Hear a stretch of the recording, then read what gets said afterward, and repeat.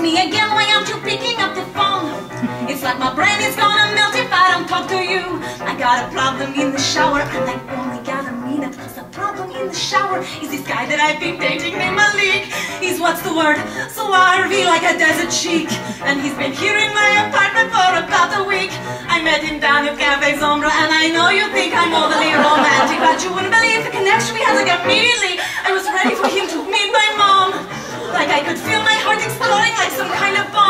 Which is ironic because actually I think he literally has some kind of anyway Grandpa, happy birthday!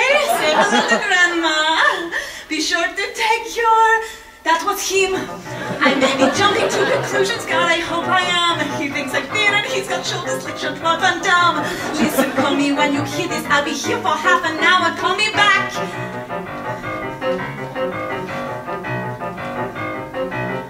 Pepa, Are you okay? You not there, but we need to talk. My stomach's aching like I swallowed some enormous rock. I'm at the phone booth down the corner, and they only got a minute cause I'm running out of change. Cause I've been lending all my money to Malik. God knows with men I'm not exactly on a lucky streak, but this one really is a mess. I think I'm gonna freak. I know you say that I'm an alarmist, but I'm not. Remember there's that time I thought I saw a spider, and you said, nah, it's a raisin, but it suddenly started moving, and it crawled over and bit Can understand in judgment, that's how much you know. It's a good thing I didn't eat it, but I never would have ate it, because I never did like raisins. So why would there be a raisin on the floor? Here is mommy back, I'll wait a little more. I'll be at 773. Damn it, they scratched out the number and misspelled vagina. All right, I'll take it. I'll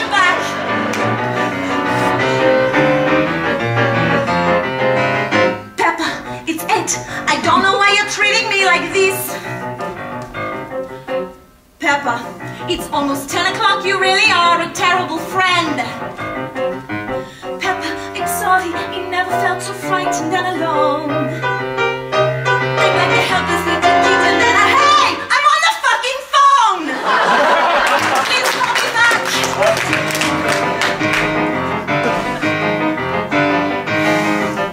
Pepa, it's midnight. Are you screaming?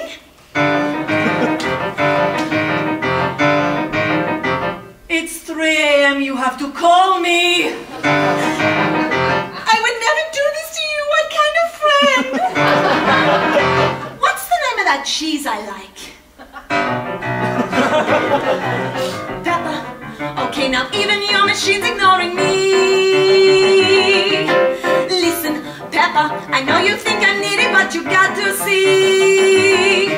I'm feeling kind of woozy. I'm here crying for an hour, and my boyfriend's got an Uzi, and he doesn't clean the shower, and